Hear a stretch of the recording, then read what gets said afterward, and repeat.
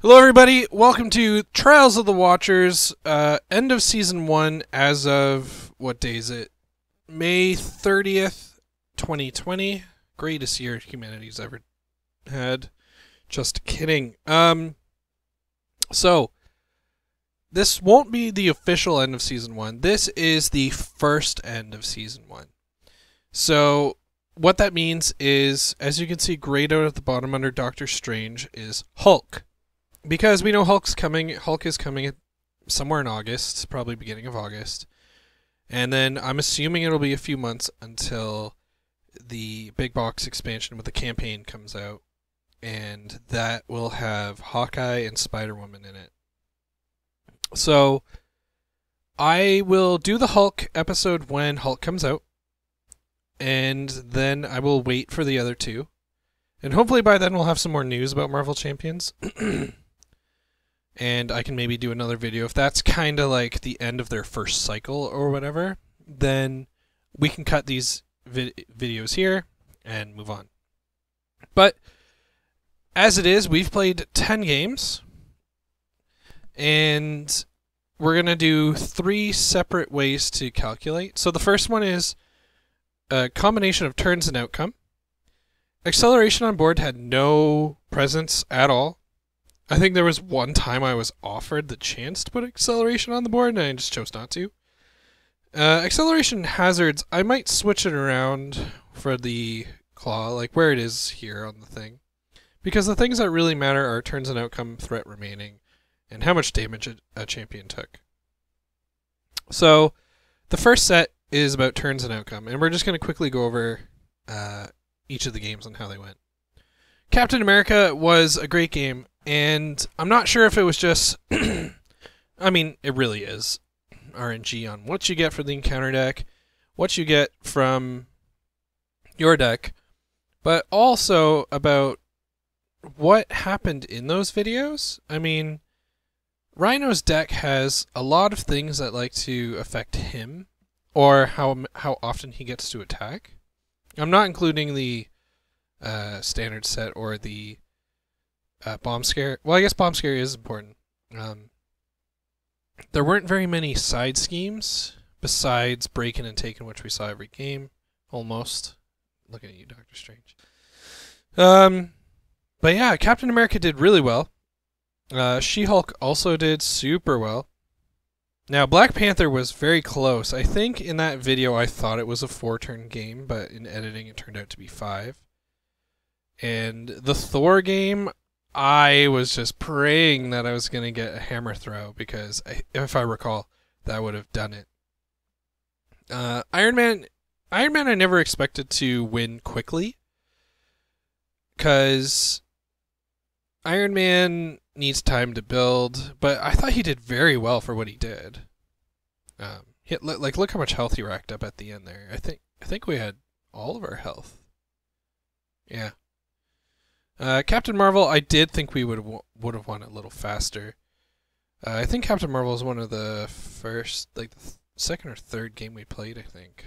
Um, Spider-Man as well. I I'd lump those two together because that may have been the beginning of the Trials of the Watcher. Spider-Man for sure. And when I'm playing, I'm not rushing to the end. I like to take my time and get control and set up, uh, which was amazing when I played Black Widow. But it's not how fast you you don't win the game fast that way. You know what I mean? I like to have low threat. I like to have almost no threat on as possible, depending on what uh, hero I'm playing, unless I have a card that easily clears three or four or something like that. Uh, Miss Marvel was my low point, um, and I'm saying that over Doctor Strange. I poorly played her, poorly managed her. I felt like I had understood how to play her, but clearly I I, I really didn't. Um, in the end, I just went with.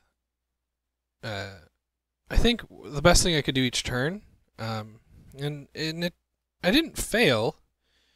Um, like we're going to talk about Doctor Strange, but yeah. Now, speaking of Doctor Strange, I felt I, like I was doing really well, but I really should have played into his mechanics about uh, cycling through his uh, his invocation deck.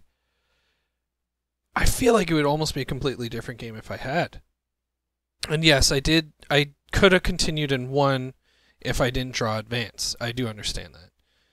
That's just Marvel Champions. I mean, like any card game, I took the risk um, that it could be drawn. I, I felt safe at the time. Uh, but as you see, I went two over. Seven of seven is end of game. Eight of seven is end of game. So, just how it is. I had a lot of fun with Doctor Strange, and I felt like a lot of his good tools were at the bottom of our deck. Doesn't affect how I played. I feel like I had a goal in mind and I tried to go for it, and ultimately I lost. And as you can see, a lose automatically puts you at the bottom of the table. You could have done better in every other situation. Like he probably would have been a turn five win with uh, probably decent amount of threat and probably full health. I probably should have taken a few hits because I had there was a bunch of cards in his deck that were heal two, deal two damage, or you get bonuses for defending, things like that. So, but yeah, uh, let's click. Here's my mouse. We're gonna click, and now we're going to who was able to deal the most amount of threat and win. So, Miss Marvel came out top. It was really easy for Miss Marvel because she had the uh, is it upgrade? No, attachment. The one that she had both of them out. The one where her events deal or uh, remove additional threat and deal additional damage. She had both of them. So I think in in the last turn I removed five threat. I think at least in one go, just because it could. And I, I think that's something that I didn't start thinking about until the later plays. I didn't think about, oh, I can affect the end score and still win, um, which I'm definitely going to do for Klaw. I'm not going to redo any of these matches, as much as I'd love to go back and do Spider Man and Doctor Strange, and Miss Marvel probably. Um, I'd even want to try Black Widow. I just had so much fun with Doctor Strange Black Widow. Probably because they're newest, and it was my second time playing Black Widow and first time playing Doctor Strange. And starter decks, I didn't, I can't tweak them. Um, and I wanted, I didn't want to know exactly what was in the deck. Like I had seen the cards, I just, com- I did not commit them to memory. Um, so seeing Miss Marvel at top, that's great. One thing I forgot to do with Miss Marvel is, I think I only used her, the those two uh, aforementioned cards.